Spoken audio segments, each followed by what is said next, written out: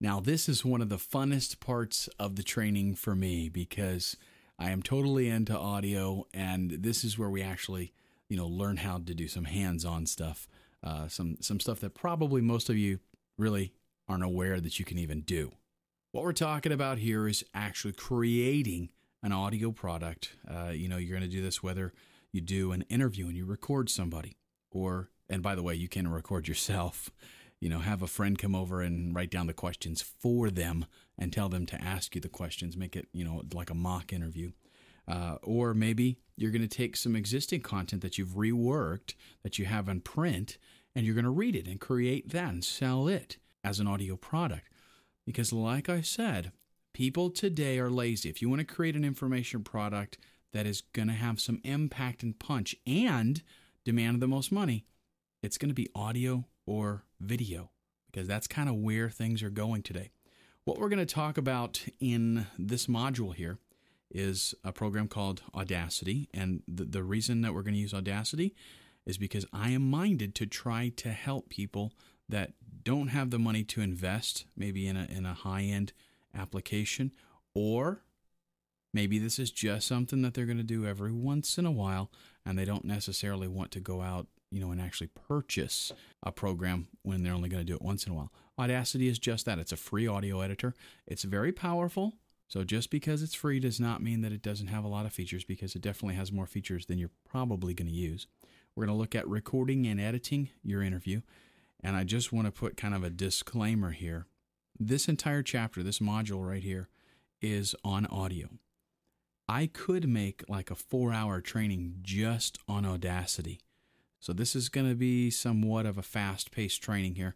We're obviously not going to get into everything. We're just going to look at the basics. I want to show you how to take a take a you know make a recording, do some basic editing to it, and then save it, and you'll have something that you can you know go out and produce. Then we're going to look at choosing an audio delivery format.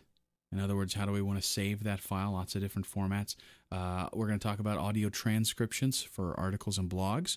That's basically where you go, again, find an article, repurpose it, kind of, uh, you know, learn the content, re- rewrite your own article, and then record it. Offer that as either the main product or as a bonus. And for those of you that are into affiliate sales, you know what is very popular that's going to put you above some other people? Let's say you're going to do an affiliate, you're going to JV with somebody that has an, uh, an ebook.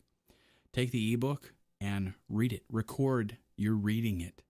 And if you do that and then offer it as a bonus to, you know, just tell people, you know, if you buy this ebook through my affiliate link, then I'm going to also send you this this CD or a download of the MP3 or whatever uh, and a lot of people they'll they'll go for that because they don't want to sit down and you know read everything. They would really like to be able to just maybe dump it on their iPod and listen to it while they're riding their bike or something. So that's another way you can make money, just kind of as a side note there. And then I want to show you how to create uh, PDFs again as a bonus. We're not going to go through the whole process because it's it's really self-explanatory and easy. I just want to tell you, uh, I just want to give you some resource links and, and just let you know about the idea because, again, it's very simple. Then I've got a list of resources at the end and some more action steps for you. Um, here's the resources that we're going to be visiting. We're to what this is going to be the reason that I like this module is because this is hands-on. I'm going to actually show you how to do all this. Um, eScriptionist. I'll go ahead and talk about these before we get into the uh, the hands-on. eScriptionist is a site that you can go to and get audio transcribed. So let's say you went and did an interview and you want to get that interview, maybe it's an hour long, you want to get that converted into a regular, like a Word document or something. And you don't want to sit there because really it's going to take you a long time if you sit there and try to type that out. You can do it yourself, but it's actually extremely affordable to have these people do it for you. If you're not in a hurry and you can, you know, wait 3 to 5 days, they'll literally get it back to you for like a dollar fifty a minute. And uh, that is more you know the time it would take me to do that is way more valuable than the money spent to these people. So that's a good resource. Elance.com guru.com you can also you know check them out you can post jobs about transcribing i see that kind of stuff on there all the time the download link for audacity is right here Okay, sourceforge.net slash download slash windows. And again, Audacity and the PDF creator that I'm linking you to here, those are both free. These are open source applications, which means they're absolutely free. Here's the link for Audacity. You're going to click Audacity 1.2. Point, whatever the current version is when you actually see this. You'll click the installer there. And then you'll go ahead and go through the installation process. I've already done that, so I'm not going to repeat it. Let's go ahead and find it on the desktop. That's the installation file. It's a pretty straightforward installation, not going to make you watch it. But when you're all done, you'll get an icon like this. And what I'm going to do, this is the first time that I've run it since the new installation. To resize it, I'm going to make sure that I've got my appropriate uh, audio device for most of you, it's going to just work from the very beginning. But I've got some specialty equipment installed in here. Okay, so that should be pretty good. I'm going to pull up, you know, I didn't do any research on this, I confess.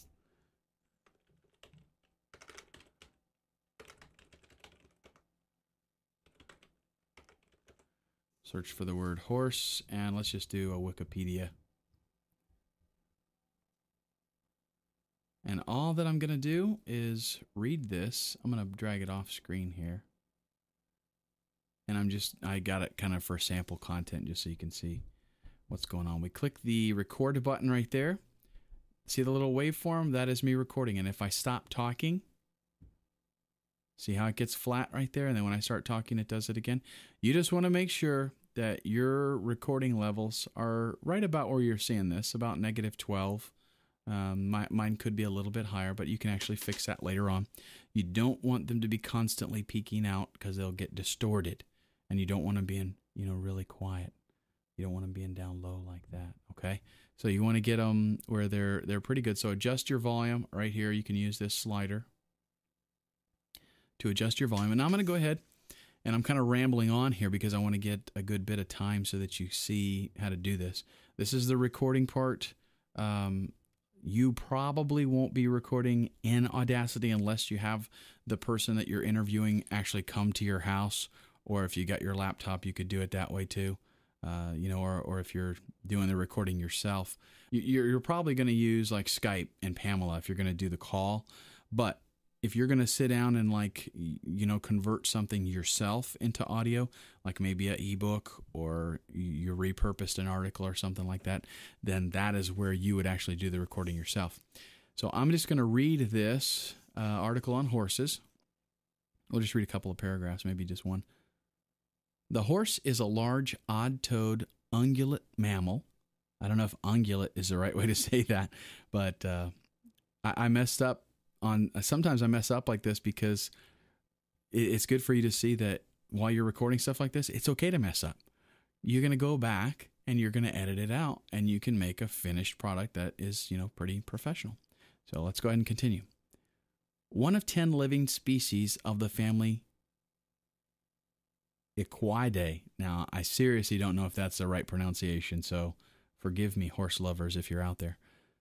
For a century, horse for centuries, horses have been one of the most economically important domesticated animals, especially relied upon for farm work and for transportation. Okay, I'm going to go ahead and stop right there because this is just for demonstration purposes.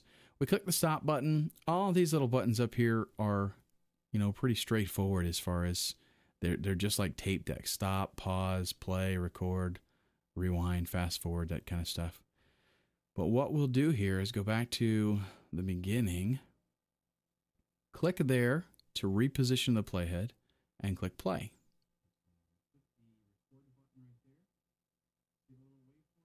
Now, you're not going to actually hear the audio that I hear because I'm talking into a microphone and the microphone's not going to pick up the speakers.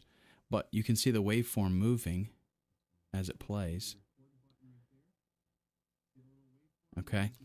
What you're going to do is go through here and find, I happen to know I started talking, I started doing the horse article.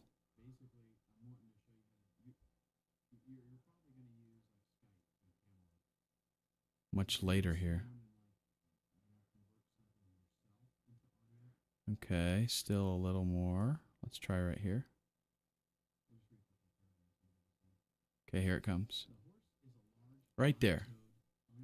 Okay, so this is where I started the actual article. What I'm going to do is click there and do Shift Home and then hit the delete button. That selects everything from where I clicked to the beginning of the file. I hit the delete button and it's gone. So I've shortened that file quite a bit. And then what I'm going to do, I'll tell you what, I'm going to crank this volume up on my speakers so that maybe you can hear a little bit of it. The horse is a large, odd-toed, ungulate mammal. I don't know if ungulate is the right way to say that, but uh, Okay, so I cranked that up quite a bit, so now you can hear what's going on. Because what I want you to see is when you make mistakes, here's what you, here's the, how you deal with it. Let's listen to it again. mammal. I don't know if ungulate is the right way to say that, but uh, I, I messed up on. Sometimes I mess up like this because it, it's good for you to see that while you're recording stuff like this, it's okay to mess up. You're gonna go back and you're gonna edit it out, and you can make a finished product that is, you know, pretty professional. So let's go ahead and continue. One of ten living Okay, from right there, it's actually pretty far out there. So I'm going to zoom out, a little zoom out button right here. And let's find our beginning spot again. but uh, I, I messed up ungulate mammal. I don't know if so ungulate is the right way to say that, but uh, I, I messed up okay, so we're going to go select that area that we want to cut out, hit the delete button, and then we'll zoom back in. Odd-toed ungulate mammal. One of t- Okay, and I'm going to take a little bit more silence there. By the way, you can play and stop the recorder, the, the playhead with the space bar. So a lot of times I click and I hit ungulate space. mammal. One of ten living species of the family Okay, and here's where I couldn't pronounce the word. Equidae. Now, I seriously That is a seriously weird word. So let's go ahead. Again, select it, hit delete. And then we back up and listen to the whole segment, the transition there. species of the family Equidae. Now, I seriously don't know if that Okay, let's back up. species of the family Equidae. Now, I seriously don't know if that's the right pronunciation, so forgive me, horse lovers, if you're out there. For century horse, for centuries, Okay, so we're going to click and drag. And you got to kind of just watch where you're wanting to go to. And let's listen. family Equidae. For centuries, horses have Now, sounds like a little bit too sudden. So, a couple ways I could deal with this. I can do Control Z to undo the uh, the cut, and then maybe reposition things. Let's back up a little bit.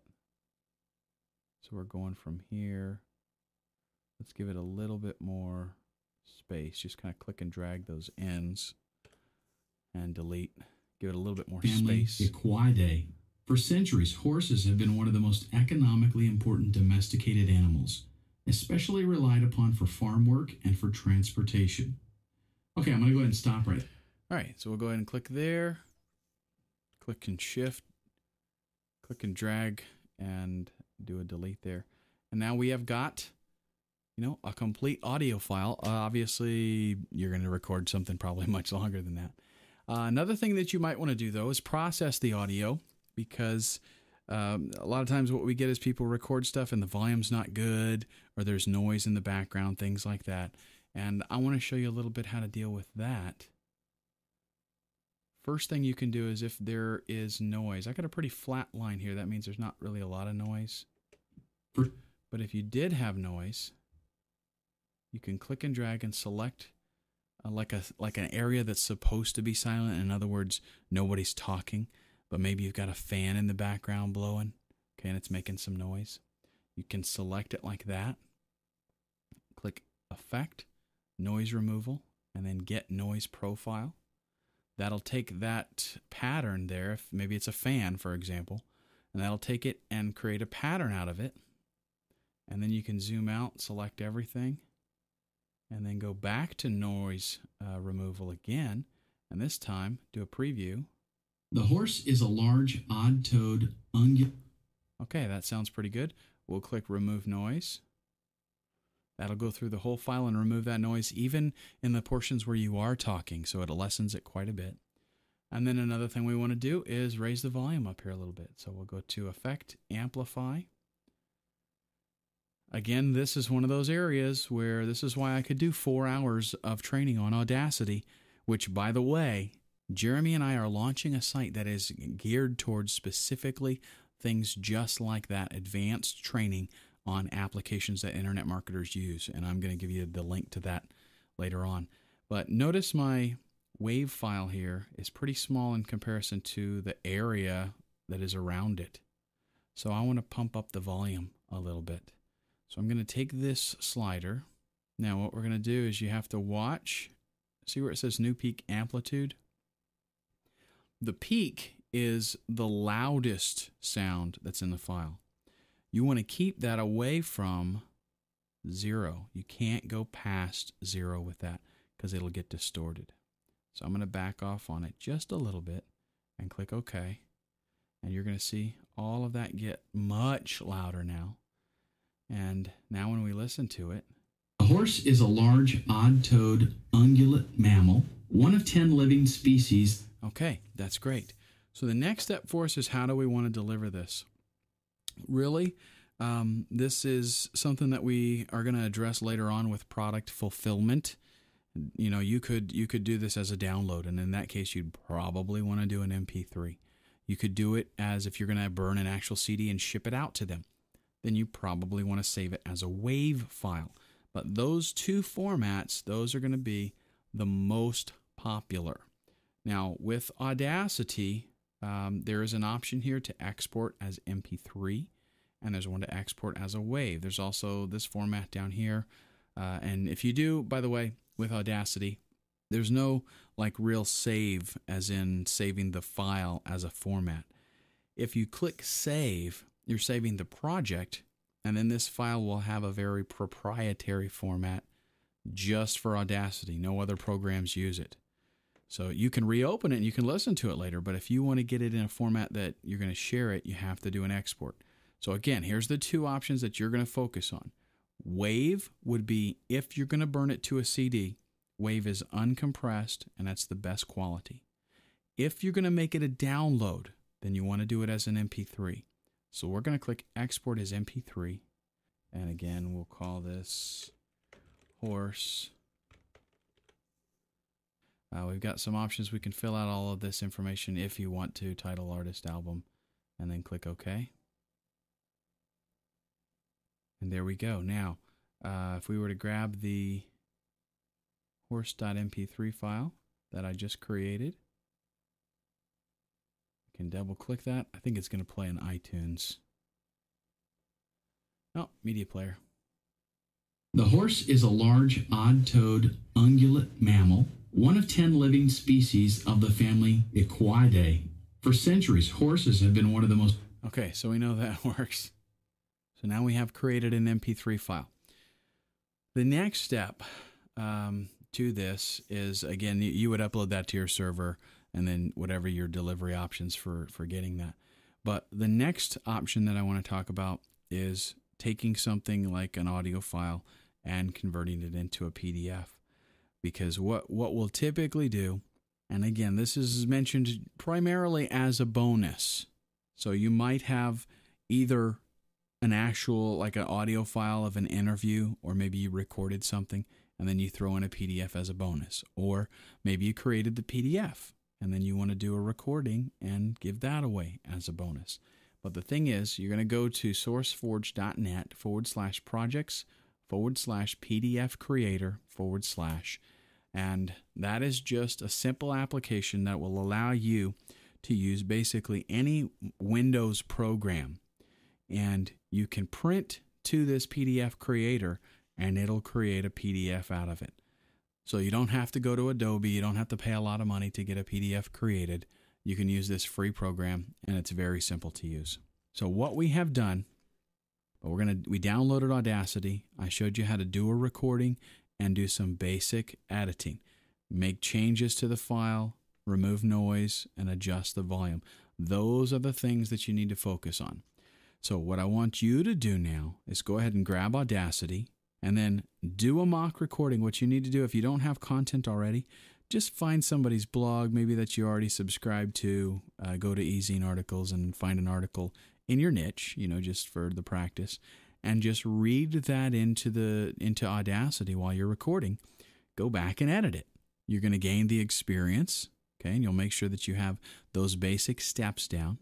And then after you edit it, save it as an MP3, export it as an MP3, I should say. And then you're all set. You've got the technical aspects of delivering an audio file basically taken care of. And like I said, if you want some more in depth audio training on not only Audacity, but also programs like Soundbooth and Adobe Audition and things like that, then again, wait till the very end, uh, the last video. I've got some resources there, and I want to show you a fantastic site that's going to teach you all of that and more. In our next video, we're going to look at creating some video based information products, and video is hot, so stay tuned.